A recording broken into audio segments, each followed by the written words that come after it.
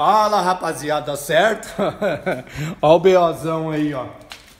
GM Onix, tá? Esse carro, o que aconteceu? Trocou o motor desse carro. Vou mostrar aqui, ó, quer ver? Comprou um motor novo, zero. Porque esse aqui, ó, é o bloco original dele, ó lá. Ó o estrago aí, ó. Tá vendo? Aí pôs um, um bloco, comprou um bloco na Chevrolet, né? Novo, e o que que acontecia? Com tudo montado, quando você rodava o motor, travava no terceiro cilindro. O pistão travava lá em cima. Aí eu desmontei aqui, olha só o que aconteceu. Então é a dica.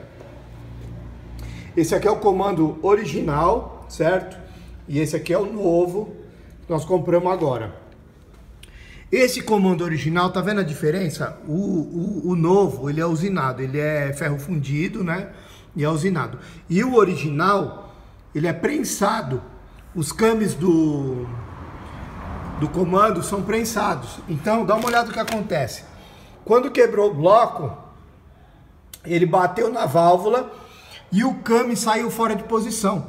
Você pode ver que eles estão na mesma posição aqui certinho, os dois. E olha aqui, ó, isso aqui é a admissão do terceiro, certo?